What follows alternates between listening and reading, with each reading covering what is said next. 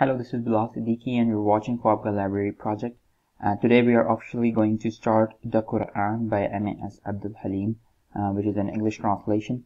Uh, so just to start off, uh, I would like to explain uh, some things at this point that uh, the videos are going to be numbered in a very um, structured manner. So the first number, which will be after the hashtag, would be the juz. So that's the bigger section of the Quran. So Quran has 30 juz.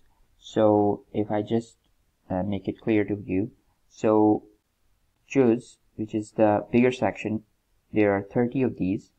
So the first number would be so after the hashtag, for example, if it's 1, so that means it would be from the juz 1 to 30, right?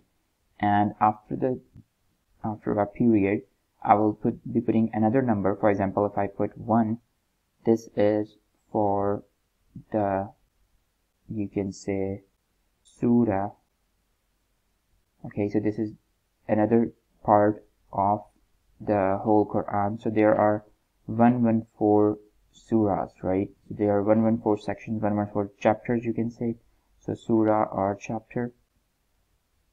And after that, there would be another number which would typically be of the verse. So the verse or ayah, you can say, right? So this would be, for example, today if we do like five ayahs or five verses, so we I'd be writing one like five. So if I clear it out uh, for this um,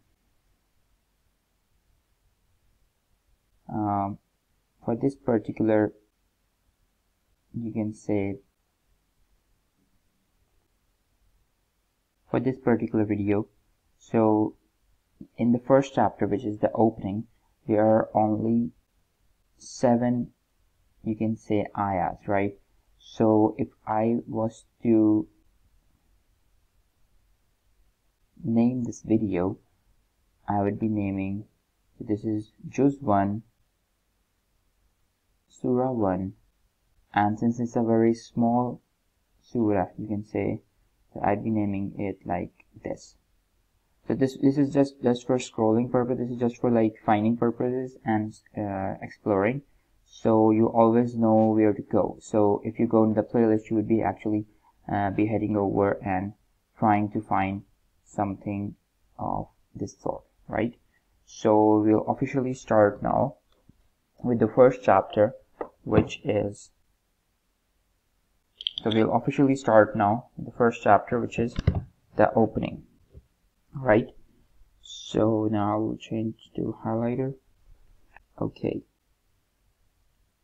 The opening.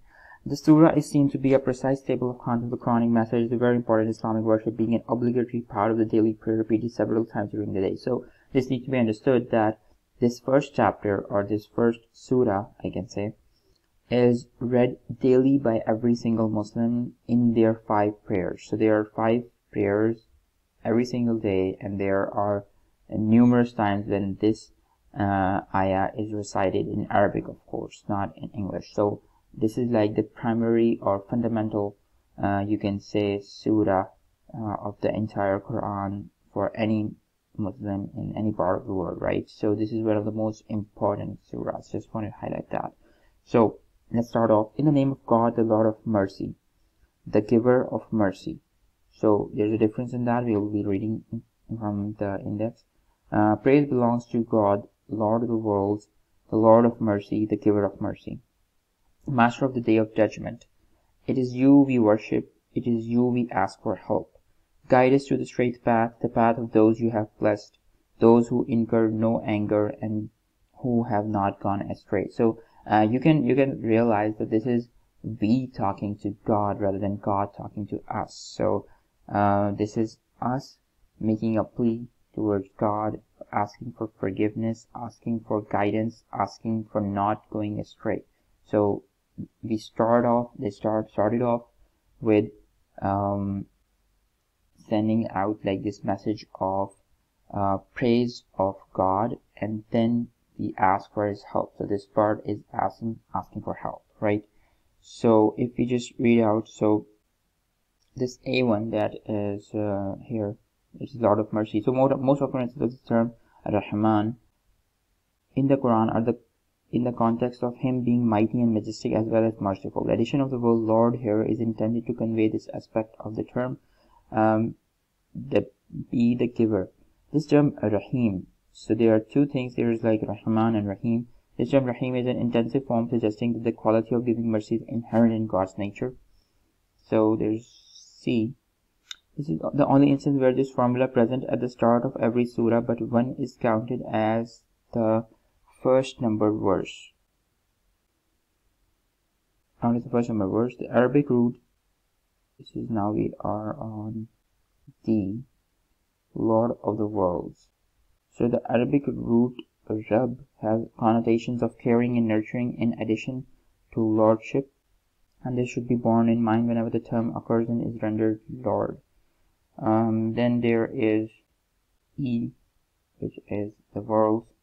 So Al-Alamin in Arabic means all the worlds of mankind, the angels, animals, plants, this world, the next, and so forth. So now there is F. which is. Note that the verb here is not attributed to God. Right? To those who incur no anger and who have not gone astray. So this needs to be understood that um, those you have blessed and those who incur anger. So and it's very amazing that it is not attributed to God because it is like they did it themselves. So God wants to love them, but they did it themselves. That they are, mm, they have done things to make someone angry and who have gone astray, who went astray their own self. So God had no intention of making them go astray. So that needs to be. So that's like um, very amazing. Okay, so that that would be it for this chapter. Um, see you in the next video. Thank you.